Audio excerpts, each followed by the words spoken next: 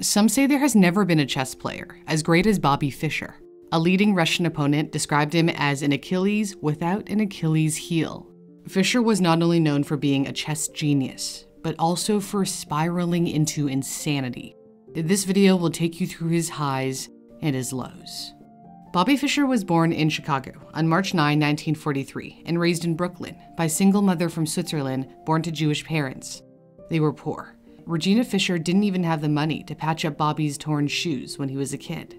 Regina was divorced from Hans Gerhard Fischer, a German biophysicist, but Bobby's actual father was most likely the result of an affair with her friend Paul Nemenyi, a Hungarian Jewish physicist. When Bobby was six, his sister Joanne bought him a chess set and taught him to play. He felt chess was more exciting than Monopoly because no luck was involved and he found it far more challenging. His sister soon grew tired of the game, and his mother was busy working as a teacher and a nurse, so Bobby spent several hours every day playing against himself. He loved the thousands of possible moves and the complex strategy involved. After a year of this, his mother took him to the Brooklyn Chess Club, where he got lessons a couple of times a week with one of the club's best players, Carmen Nigro. Nigro charged him a dollar an hour, but Bobby believes he wasn't in it for the money, but simply to make sure he took the lessons seriously. And apparently he did. He was utterly obsessed with chess. One might even say it was his best friend. Actually, Fischer didn't have any real friends growing up. He thought having friends was only important for kids who had secrets and wanted someone to share them with. He had no secrets, so apparently he didn't feel the need to have friends. Fischer would spend Sundays playing chess with Nigro in Manhattan's Washington Square Park. He began spending less time with Nigro when he started being tutored by Jack Collins, a master player who once ranked as high as number 17 in the US. Collins spent his life in a wheelchair. He didn't quite fit in, just like Fischer. He was careful not to say he was Fischer's coach. That would be like saying someone had to coach Beethoven, Shakespeare, or Leonardo da Vinci. He thought Fischer was a genius on the level of those geniuses. Collins did have an extensive library collection of chess books, which Fischer devoured, spending 5 to 10 hours a day reading and studying. He would need the preparation when he faced older and more experienced opponents. When Fischer was 13 years old, he faced 26 year old Donald Byrne, one of the top 10 players in America. Fischer played in black, Byrne in white. The game of the century, as it's remembered, took place in New York City on October 17, 1956. Fischer's moves looked like lethal art. He even dared to sacrifice his queen. Fischer got a thrill out of breaking his opponent's ego. His opponent was outclassed and outmatched. This game put Fischer on the map. The world knew it had a genius on its hands. The following year, when he was still only 14 years old, he won the US Championship. A year later, he became the youngest ever Grandmaster. And in 1972, he captured the World Championship from the Soviet Union's Boris Spassky. This was stunning. The Soviets lived and breathed chess. They were more obsessed than Canadians are about hockey, or the Chinese about table tennis. Then comes along a lone wolf from America who was up against the entire Soviet chess institution. It was a David versus Goliath matchup. Bobby Fischer single handedly beat the Soviets at their own game. This took place during the Cold War, and the symbolism wasn't lost on anyone. The world's two superpowers battled it out on a chessboard. Except Fischer nearly skipped the match of the century he refused to fly to Reykjavik, Iceland for the tournament unless he got more money, including a guarantee of a slice of the lucrative TV revenue. US Secretary of State Henry Kissinger had to insist he, quote, get his butt over to Iceland. He finally flew there after a British investment banker offered to double the money to 250,000. Fischer was still in a foul mood when he arrived. He played poorly during the first match and lost. He didn't even show up for the second match, complaining that the TV cameras distracted him so he lost automatically. The tournament organizers conceded to his demands for the third match to be played without TV cameras in the room. From that point on, his playing got stronger. Fischer, the 29 year old who dropped out of high school, would beat Spassky to become world champion, single handedly dismantling the Soviet Union's 24 year hold on the game. He became a hero to millions of Americans and inspired new interest in the game of chess. Some chess clubs saw membership double during the Fischer frenzy. He was a star and made the rounds of American TV. On the Carson Tonight Show, he showed off his brilliance by solving a sliding puzzle in 17 seconds. Uh, this was not very well mixed up. I want to say that. It wasn't well mixed up. Yeah. Oh. 17. No. Well, they didn't mix it up too well. It takes about 30 seconds. He reportedly had an IQ of 181, which is said to be even higher than Albert Einstein's. Although he scaled the heights of fame, Fischer wasn't all that likable. He had a habit of saying controversial things, though people tended to ignore it because he was the Cold War chess hero, after all. This is what he once said about female chess players in an interview with the Canadian Broadcasting Corporation. The, the women are really very good players. I mean, I guess I could give every one of them a knight and still win easily. Why, why is this? Do women make bad chess players? Oh, they're terrible chess players. I mean, some are better than others, you know, but uh, Why and do they think don't so? play in men's tournaments. I don't know why. I guess they're just not so smart. Would you call yourself a misogynist? Excuse me, uh, what's the definition of that word? A woman hater? No. No? no. What do you think of women? When it comes to chess, uh, not too much. He managed to offend everyone. During an interview with a Philippine radio station hours after 9 11, he said the attacks were, quote, wonderful news. I applaud the act. The US and Israel have been slaughtering the Palestinians, just slaughtering them for years. I want to see the US wiped out. He never hid his hatred of Jews, repeatedly making anti Semitic remarks, despite being Jewish ethnically. His anti American, anti Semitic comments coincided with his growing paranoia. He decided the US government was out to get him. He also believed the Israeli National Intelligence Agency, the Mossad, was after him. He refused to defend his world championship title in 1975. He complained that opponents were trying to poison his food, his hotel rooms were bugged, he feared the Russians wanted to bomb his plane. For years, Fischer carried a blue cardboard box with him wherever he went and refused to say what was inside. Once, when he went to use a restaurant restroom, he left it on the table, and a friend he was with peeked inside. He saw a Bible. Religion appealed to his desire for logic and order. Except he later cut ties with the Worldwide Church of God, funded by televangelist, after complaining that Herbert Armstrong's teachings made members lose their minds and become zombies.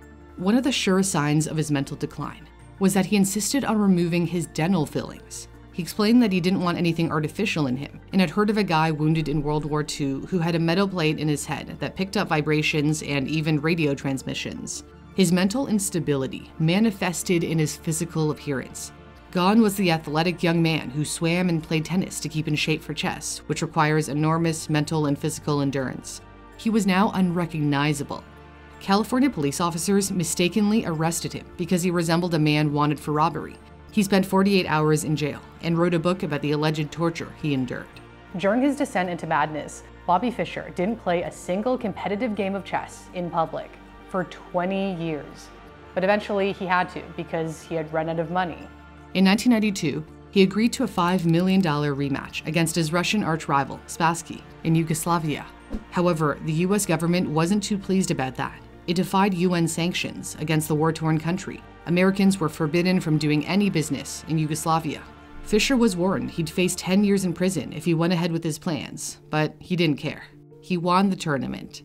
Some believe he was coaxed into playing by his teenage Hungarian girlfriend, Zita Rajcsányi, who was also a chess player. She had apparently turned a pen pal relationship into a romance, despite their 30 year age gap. Although Fischer claimed he didn't have time for women, he is said to have married a Japanese chess player, Miyoko Watai, and lived with her in Japan for a few years. He reportedly hoped that as the spouse of a Japanese citizen, he could stay there, as he had been on the run from American authorities for defying sanctions. But his attempt to stay in Japan was unsuccessful. Authorities arrested him for using a passport that had been revoked by the US government. He begged Iceland to take him in, the country that made him famous in 1972. Iceland welcomed him by making him a citizen. He would spend the rest of his days there, living in obscurity. So, what caused Bobby Fischer to descend into madness? Some speculate that training in blindfold chess can cause mental strain, as you can't see or touch the pieces, so you're forced to maintain a mental image in your head. However, there were signs something was not right with Bobby Fischer much earlier on. Legendary chess grandmaster Mikhail Tal picked up on it back in the 50s, mocking Fischer for being cuckoo. Another chess grandmaster, Paul Benko, once remarked, I'm not a psychiatrist, but it was obvious he was not normal. I told him, You are paranoid, and he said that paranoids can be right. World renowned chess grandmaster and psychoanalyst Dr. Reuben Fine described in his book on Fischer that Fischer's mother had consulted him because she was concerned her teenage son was too obsessed with chess and felt he needed friends and other hobbies. Fine described how, when he, quote, started a conversation with Fischer at one point about what he was doing in school, as soon as school was mentioned, he became furious, screamed, You have tricked me, and promptly walked out. For years afterward, whenever I met him in clubs or tournaments, he gave me angry looks, as though I had done him some immeasurable harm by trying to get a little closer to him. In other words, Fischer reacted in a paranoid way. Perhaps school was a sensitive spot. He dropped out at the age of 16 to focus on chess. He was always insecure about his lack of education and decided to trade his casual wear for suits when playing chess in order to look more sophisticated. Social skills were not his forte. When CBS's 60 Minutes spent his 29th birthday with him and surprised him with a cake, he actually refused it. Happy birthday to you. You were worrying about this? Why were you worrying about it? You know, I just don't go. First of all, I don't eat uh, this kind of cake. Second of all, I, I don't go for these things. All right. Should we take it away, please? Yeah, all right. It appears paranoia ran in his family. The FBI described Fischer's mother, Regina, as mentally unstable in their secret files on her. They had spied on her since the dawn of the Cold War in the 1940s. The FBI suspected that the left leaning political activist was a communist spy. Both she and her then husband had lived in Russia. The agency was also worried that the Russians had tried to recruit Bobby. Bobby's relationship with his mother was strained. He resented her for abandoning him when he was a teen so she could focus on her medical career. Although they hardly saw each other over the years, he is said to have become distraught after she passed away in 1997, quickly followed by his sister the following year. Some believe their deaths caused him to lose whatever last grasp he had on reality. Bobby's probable father was also believed to be paranoid. Paul Nemenyi was highly intelligent. He even collaborated with Einstein's son, Hans Albert Einstein, who was also a scientist. Nemenyi emigrated from Hungary to the US in 1939, but had trouble adjusting. He reportedly walked around with soap in his pockets, paranoid about getting his hands dirty. Some speculate Bobby Fischer could have had schizophrenia or Asperger's, though there was no evidence that he was diagnosed with any mental health disorders. It also does not appear that Fischer had any long term treatment for mental health issues. One could only wonder if his life would have turned out differently if he did. During the last years of his life, he stayed in close touch with a psychiatrist who headed Iceland's hospital for the criminally insane. Dr. Magnus Skulason stayed in hospital with Fischer as he lay dying of kidney failure. Fischer passed away on January 17, 2008, and according to Skulason, his final words were Nothing is as healing as the human touch. Coming from a man who shied away from social contact, this was a remarkable thing to hear. It was fitting that having fallen in love with 64 black and white squares on a chessboard, Bobby Fischer died when he was 64 years old. He asked to be buried as a Catholic. Bobby Fischer once wrote an article for the Boy Scouts magazine. Quote, with talent, study, and a positive attitude, there is no limit to how far you can go. Yet he failed to live up to his own words. If Fischer had stayed in the game longer, perhaps we would have seen a matchup with Gary Kasparov, arguably the two greatest chess players of all time, though they were 20 years apart.